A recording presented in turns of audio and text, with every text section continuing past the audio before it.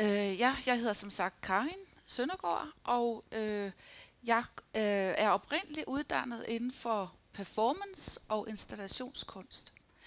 Så det er jo klart, at øh, min tilgang til det her med rum og lys har meget at gøre med, hvordan man bevæger sig i rummet, og hvad der giver anledning til den her bevægelse.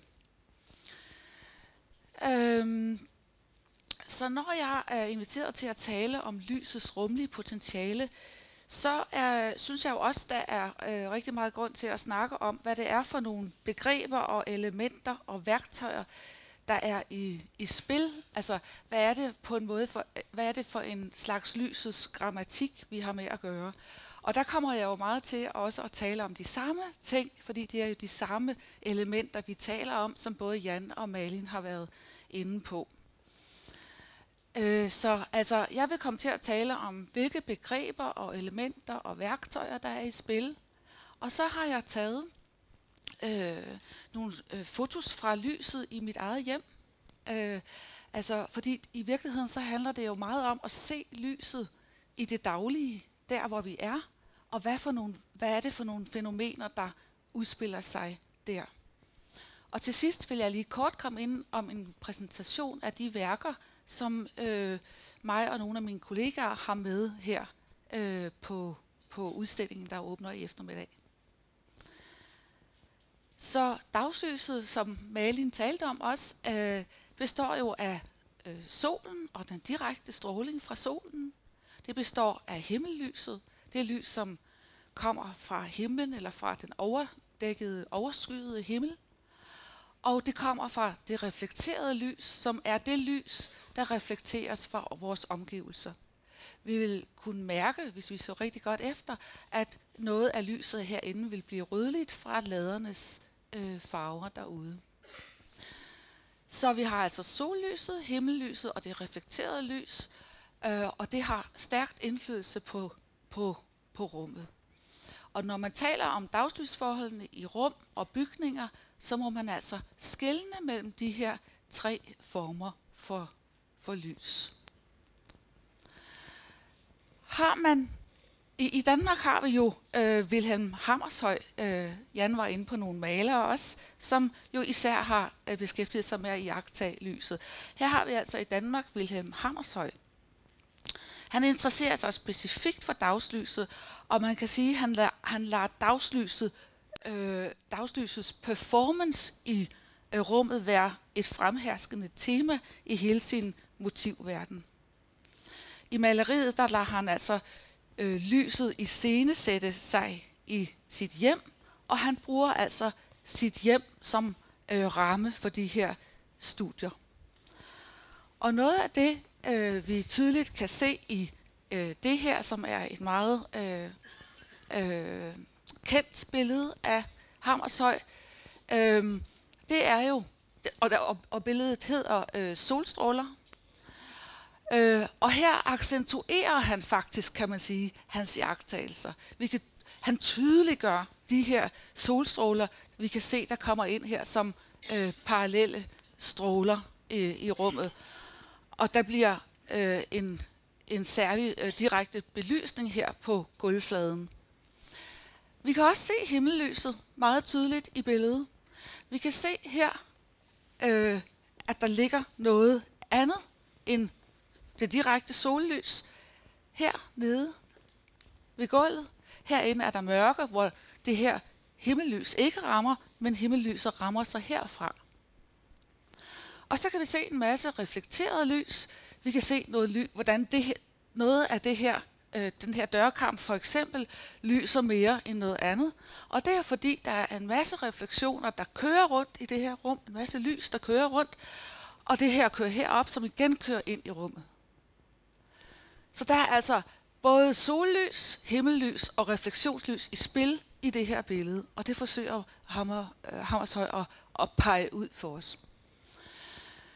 Øh, så kan man også snakke om, øh, hvad vi kalder lysrum, Øh, og det er knap så tydeligt. Det er alt det her, som vi kan gå igennem, bevæge os igennem, og som, som vi kan mærke. Jeg har for eksempel noget kunstlys her fra projekt, projektoren, og jeg kan gå, gå igennem det, og jeg kan ligesom selvfølgelig også øh, mærke, når jeg gør det, og andre kan se, når jeg gør det.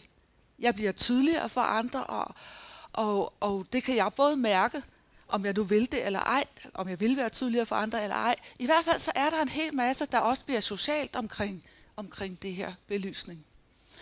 Så hvis nu man kunne gå igennem hans billede her, så ville vi kunne se, at, der, at, vi, at vi kunne tale om nogle volumener af lys.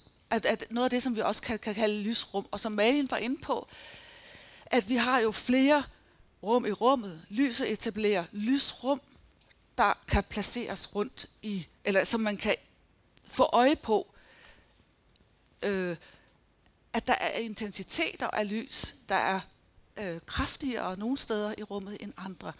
Her vil vi for eksempel have det, vi kalder et lysrum, til at udfolde sig her omkring, som man vil kunne gå igennem, øh, eller som noget, man kan tænke på, som noget, man kan gå igennem og være i, eller stille sig ud ved siden af. Altså nogle volumener af lys. Og de her ting kan man jo også iagtage i hjemmet. Jeg, oh, oh, jeg kan scrolle det der. Sådan, ja. Øhm, og her ser vi så øh, den samme stue. Og øh, øh, her ser vi med den direkte belysning, og vi ser en masse refleksionslys, der kører rundt. Og øh, her har vi så den samme stue, kun med himmellyset. Så siger man jo, at i virkeligheden er, er sådan øh, de her rum, hvor vi kun har himmellyset, øh, de bedste for øjnene, fordi det er mest stabilt, og det er, øh, eller det har en større konstans, øh, Øh, og, og det kø, altså, intensiteten kører ikke op og ned, så vi hviler mere øjet. Man kan så sige, at noget af det, der er rigtig lækkert ved de her øh, meget dynamiske situationer, det er jo, at det ligesom øh, giver liv. Det giver rigtig meget liv, og det her liv stimulerer os også. Skal jeg for eksempel tage det her billede og snakke om lysrum, for at få fat i det begreb, så kan man sige, at der tydeligt er noget lysrum her, og der kan man endda stille det lidt op i to. At der er noget lysrum her. Der er noget lysrum her. Hvis man nu skulle tegne sådan nogle blobs. Og man kan sige, der måske også er noget herude.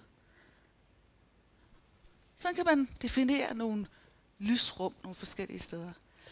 Fordi hvis ikke vi vil have de her meget jævne rum, men gerne vil som designer skabe øh, et, et rum, hvor man ligesom drives fra et sted til et andet på grund af, at lyset er forskelligt. Det inspirerer os nemlig til bevægelse, særligt når det er forskelligt. Så kan man jo øh, tænke i lysrum. Ja. Så, øh, så skyggerne, det er jo, eller mørket, det er jo altså lysets øh, følgesvend. Og lyset og mørket, det stilles hele tiden i et relativt forhold til hinanden. Blandt andet på grund af vores biologisk betingede perceptive egenskaber. Og så det, at øjet adapterer sig til omgivelsernes lyssituation. Så for at kunne artikulere mere differentieret øh, om skygger, så har man altså på øh, Arkitektskolen i København igennem mange år udviklet på nogle skyggeteorier. Øh, og, øh, og her har man så differentieret mellem de her øh, fire forskellige øh, lyskategorier. Nej, skyggekategorier. Øhm, og der taler man om de store rumskygger, øh, og man taler om de store genstandsskygger. De store rumskygger er altså de øh, skygger, der ligger sig ind i de store dele af, af rummet. Og man taler om de store genstandsskygger, som er de skygger, der dannes af øh, de store møbler i et rum. Og man taler om øh, de små genstandsskygger, som man kan se på den øverste herover af de her små genstandsskygger. Og man taler om øh, øh, øh, det, vi kalder detaljer og teksturskygger. Så hvordan tager det sig så ud i sådan et almindeligt øh, hjemme, øh, rum derhjemme. Der kan man så se, øh, at hvordan at, vi, at, at rummet er delt op i, øh, hvor, hvor vi har øh, for eksempel noget stor skygge hernede, vi har noget skygge op i loftet, og øh, man kan se, hvordan vi har de her store genstandsskygger øh, i rummet. Man kan se, hvordan vi har de små genstandsskygger, øh, og øh, skyggerne på selve tingen.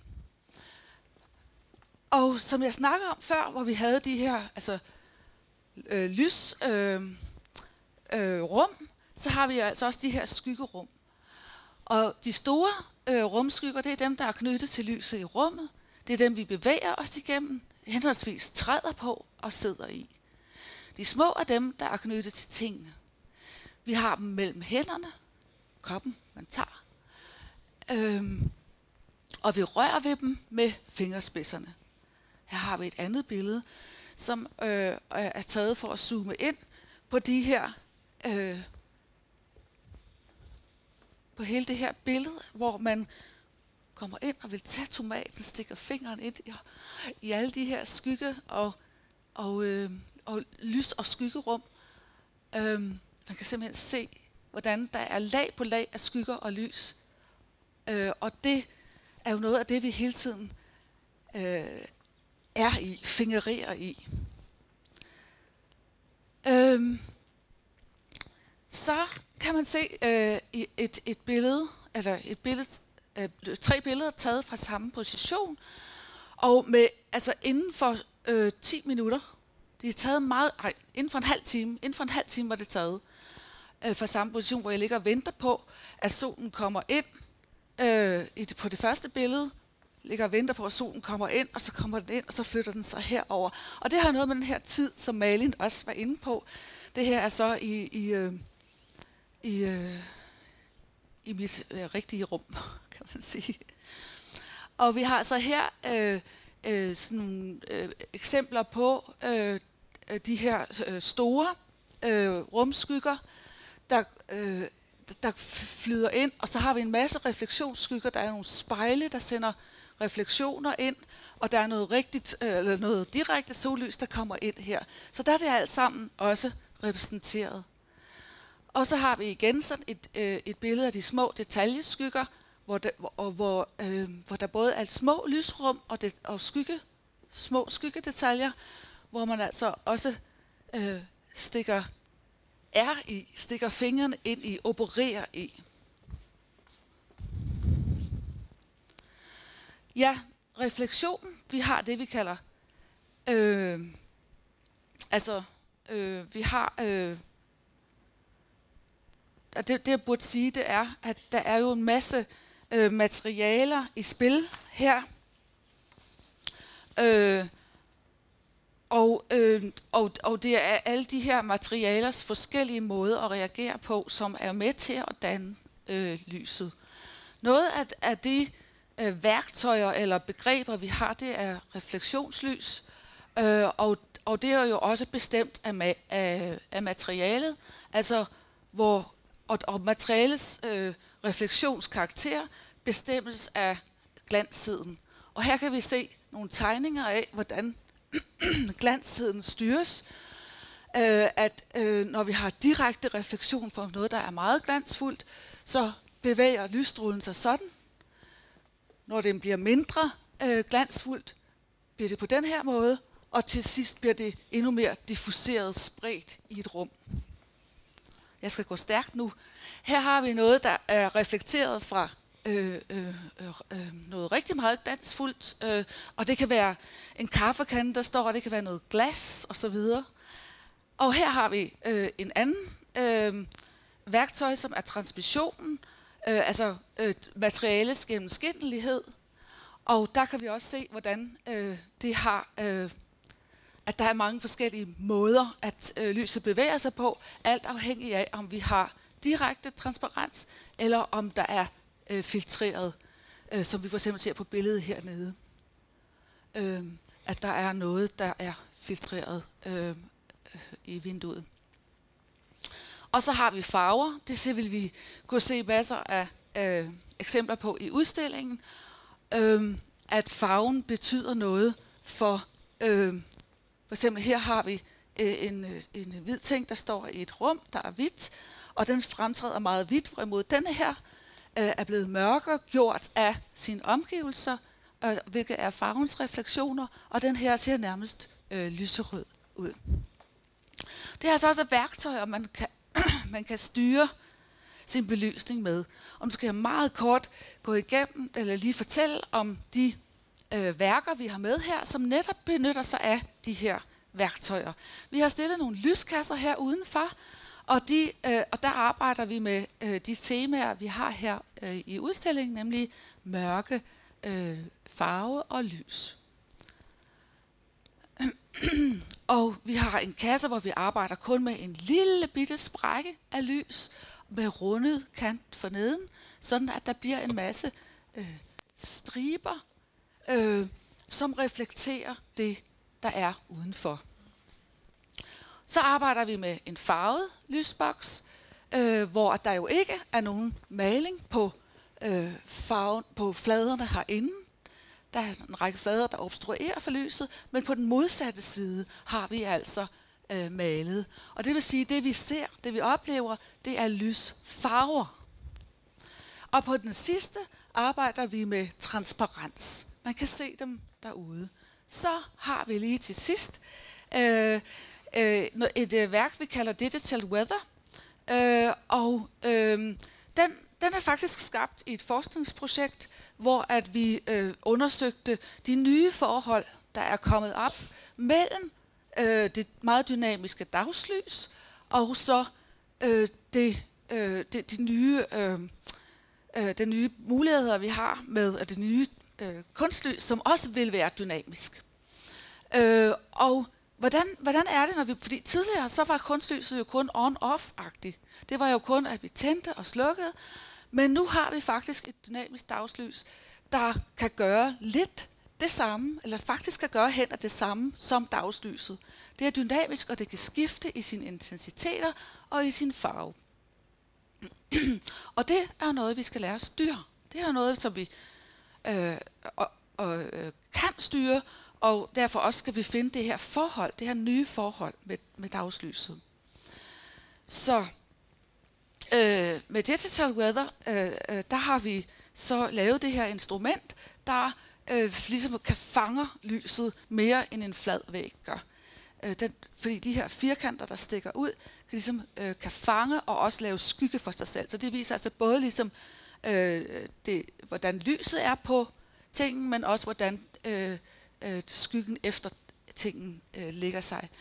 Og øh, så har vi øh, øh, øh indlejret nogle øh, LED-lys, øh, øh som kan styres, og det er jo så softwaren, vi kalder Digital Weather, som nu har, og nu hedder hele instrumentet så Digital Weather.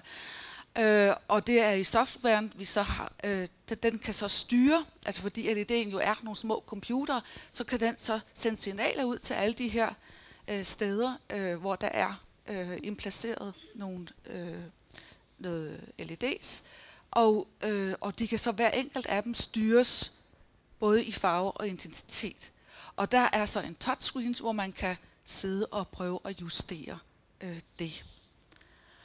Sådan ser det ud, når det er helt mørkt. Og det er jo meget underligt, at de lys, der ser sådan her ud om dagen, øh, ser sådan her ud, når det, når hvis vi ruller gardinet for. Det, det, det var sådan næsten, næsten et gåde for os, men det er altså vores øjne, der spiller med der. Tak. Thank you.